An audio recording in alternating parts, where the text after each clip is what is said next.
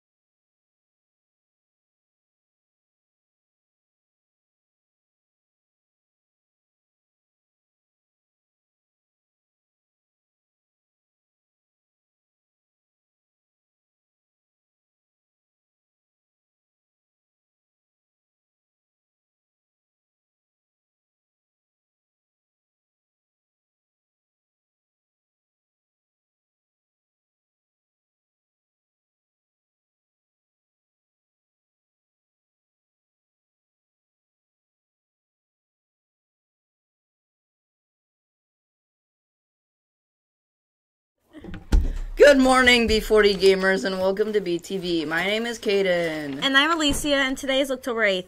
Let's check out this week in rap. Oh yeah. Oh yeah. Uh huh. Y'all ready? Yeah. We hear you loud and clear. We bringing it right back. Let's go. Oh yeah, Flow Cab's back with more raps, delivering the news in our classic format. It off with the Ukraine. It's a scandal. A whistleblower made a complaint about a call between the Ukrainian president and Trump. Trump asked him to investigate Joe Biden and his son. Democrats have begun an inquiry into impeachment. The House votes yes, then the Senate has to reach in. Yeah, that's where they'll have their own trial. All we know is that the whole process could take a while. Next up, we've got to talk about the recent outbreak.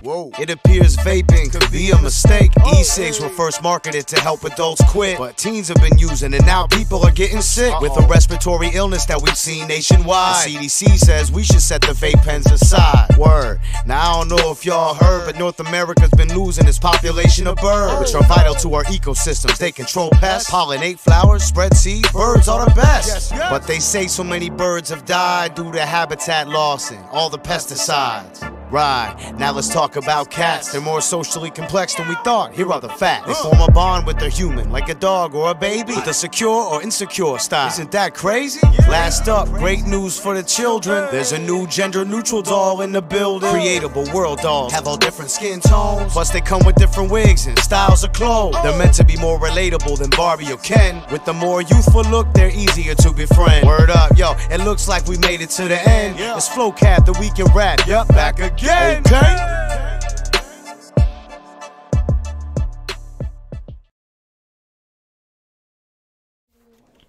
Important reminder this Sunday, October 31st, is Open Streets. This is a great event where all of West Cliff Drive is closed to cars so that people can take over the streets with alternative transportation. You can walk, ride bikes, skate right down the middle of the street. uh, there are also many activities and entertainment stations set up along the door- road. See you there. There's only one week left to turn in your Drive for Schools ticket money. This this is one of our biggest fundraisers and gives us money for things like field trips, dances, and sports equipment. We have a long way to go, but if we wait, raise $5,000, every single student will receive a prize, so turn in that money. In club news, GSA meets in the cooking room and Knitting Club meets in library at lunch. Sorry, friends, but Knitting Club is canceled. See you Thursday, Tuesday. News from library. Believe it or not, we already have five official B40 reading savages. How is that even possible? Our first reading savage is 8th grader Carmen Diaz, Cache, who blacked out her bingo card before October. Following close on her heels were 8th graders Scarlett Hare, Daphne Johnson, Maya Lawrence, and the library's very own Miss Marina Fit- Fitch. Fitch. Congratulations to all of you. Keep rating and getting your bingo score stamped. Who will be next?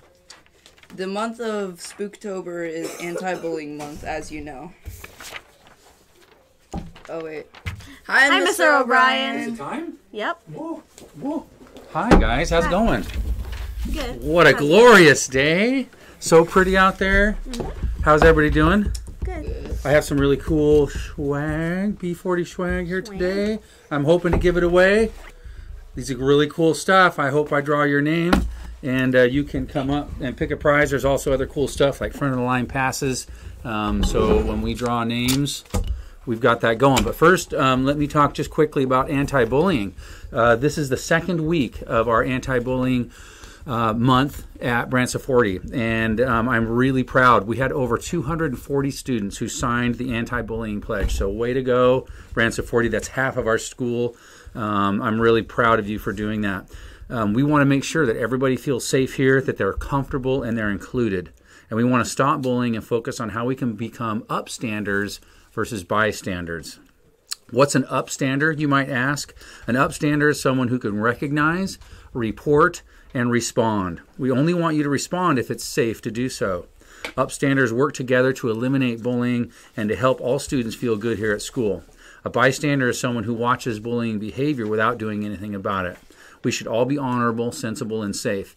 And it's amazing because just yesterday, two students came to me and were upstanders saying that something was happening to their friend that they weren't comfortable with. They had already spoken to the boy who was saying things that they weren't comfortable with. Um, and he did not respond. And so they told him again, which is really great. You want to be powerful and tell someone, hey, I don't like it when you're doing that. And if that doesn't work, then you can talk to an adult. Uh, we should never use the term snitch or tattletale or anything like that around here because telling a lot of times is the right thing to do. So be an upstander. Um, let's check out a video about being upstanders.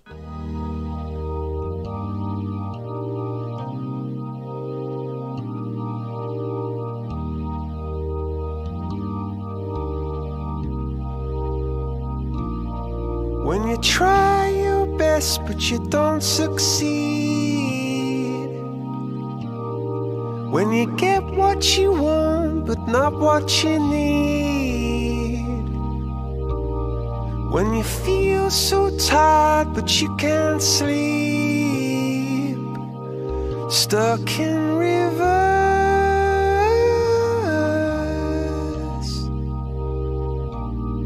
And the tears come streaming down your face. When you lose something you can't replace. When you love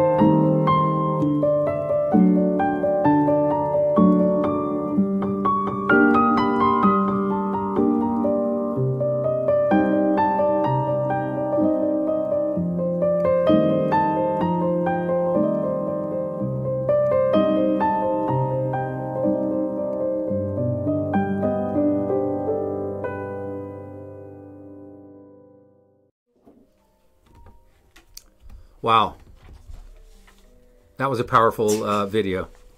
Um, upstanders can be powerful allies in the fight against uh, bullying. Check out this video that really spells out the power of being an upstander.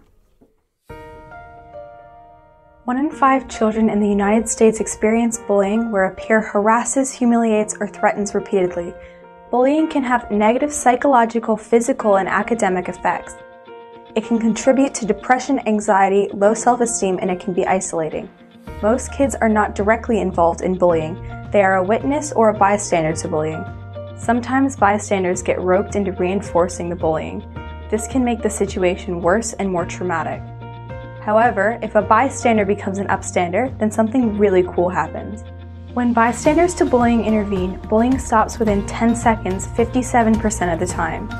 Think about it. If bystanders became upstanders every time there was a bullying incident, more than half of all kids would be spared a prolonged harmful experience, and they would feel the support of a peer.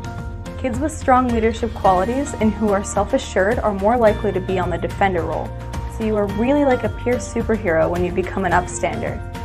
There are a number of ways you can shift the negative focus of bullying change the subject, interrupt, question behavior, use humor to lighten up a serious situation, embrace your differences, report bullying and block cyberbullying, protect others and show kindness and empathy, and include others in what you are doing. Every time you stand up and stick up for others, you are making a positive difference and helping a peer who may really need a friend. To learn more about bullying prevention, visit stopbullying.gov.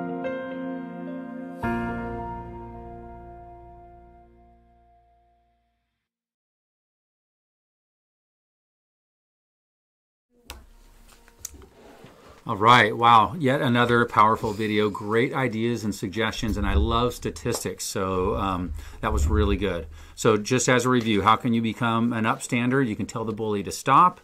You can find a way to remove the victim from the bully. You can make a joke or change the topic of conversation. You can include the victim in your group or activity.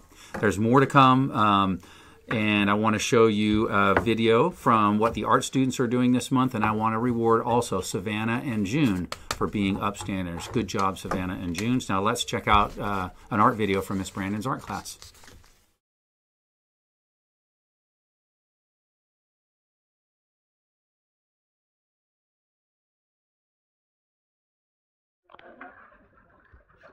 Posters around the school will help you to remember to not bully and be kind. We're all coming up with unique and individual ideas. You should look closely near the library to see all the stories you can find for our first art installment. Here in art class, we are working on anti-bullying. We are going to be making posters and putting up art projects.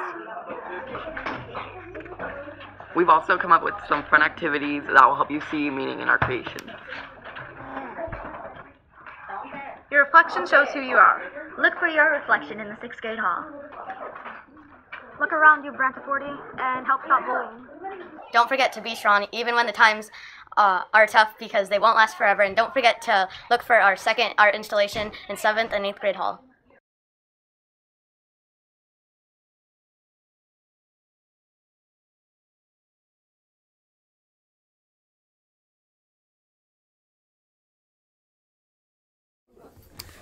All right. Wow. Yet again, another great thing uh, happening at Branciforte. Great job, Miss Brandon, and your art students. Really empowering.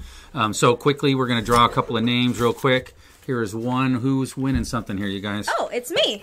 Oh, uh, get out of here. Look at that. It's you? Yeah, it's me. I swear that wasn't planted. That was amazing. I pulled out, and Alicia Guzman, Miss Books gave you this for being so helpful and covering books. Generally awesome and helpful. Way to go. Are you going to pick a hat or a shirt or front of the line pass? What are you going to do? I think I'll pick a hat. Pick a hat. Sweet. Which one? Like this. Yeah, show which one she picked. All right, very cool. All right, Alicia. Um, here's another one. Why don't you, young man? Why don't you read that one? Uh, Natalie White. What What was she caught doing? By and by whom? Uh, y- Missy Casa caught her being uh, haciendo lo que falta durante el almuerzo. Ah. Doing her work that she needs to do during lunch. Gracias para traducir. Muy bien. Um, so congratulations, Natalie White. Thank you, Miss Icasa, for rewarding students. And then Miss Garcia also rewarded Lali uh, Paramo, I think his last name. Lali being a focus writer. Good job, Lali. Thank you, Miss Garcia, Miss Icasa, and Mrs. Books for rewarding students. You guys have a fantastic day. Or not. You know you're in control. Thank you. Thank you, Mr. Thank you, Mr. O'Brien. Hello, ASB representative. Representatives. What's up?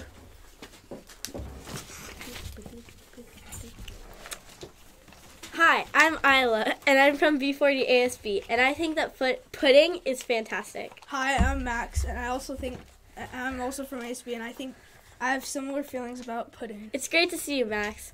Well, that's enough about pudding. Let's talk about what ASB has coming up. I hear there is a Halloween dance coming soon. Max, do you think that you could share an overused pirate joke to inspire people to attend this magnificent event?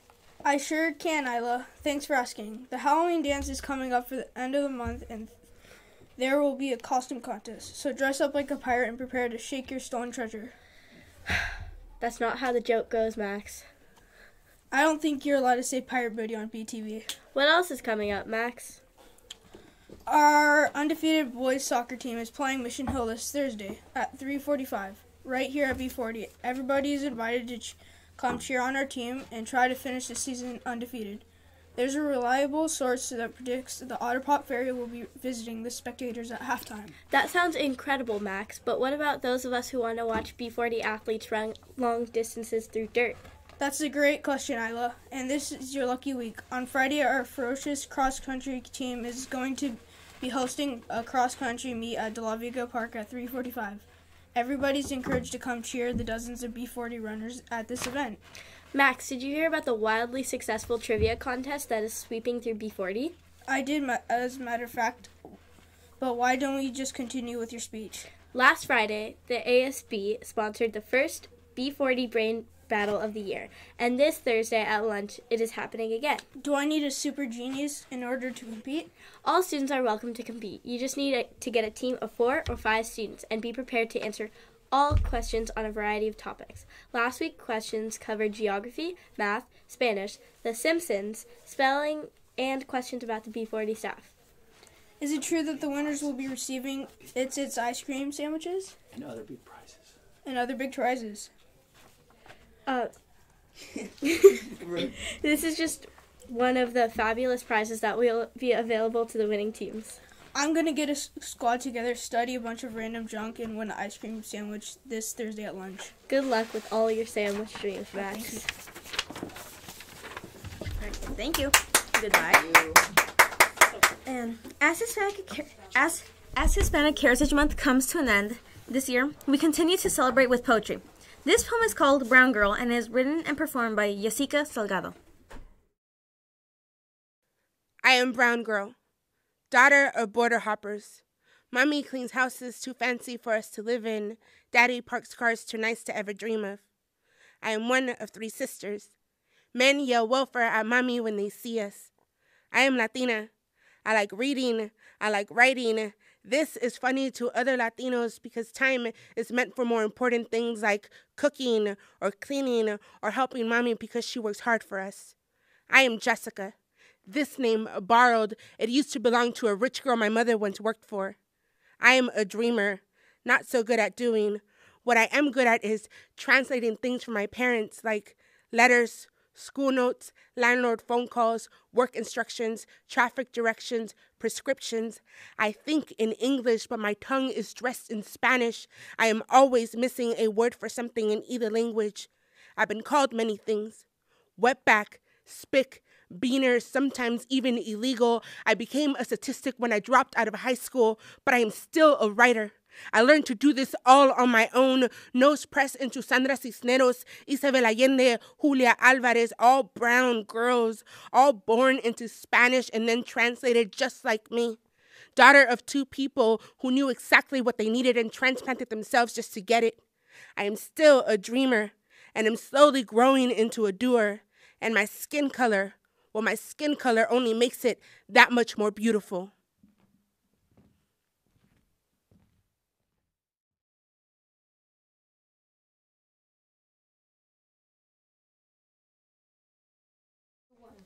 That's our show for today. Thanks for watching. Stay And classy, brand B40. supporting.